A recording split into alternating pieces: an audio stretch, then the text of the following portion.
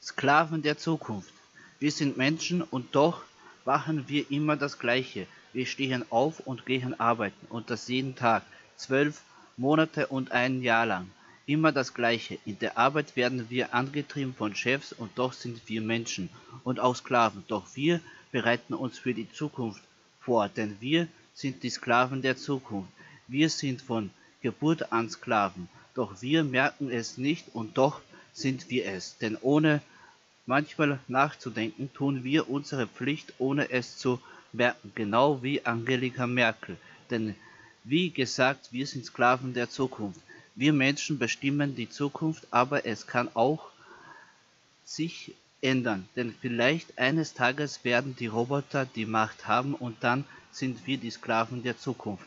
Dann gibt es auch kein Chefs mehr.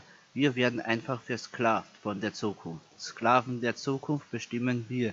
Sklaven der Zukunft sind wir Menschen. Sklaven der Zukunft, wir sind versklavt. Sklaven der Zukunft. Doch was genau ist die Zukunft für uns Menschen?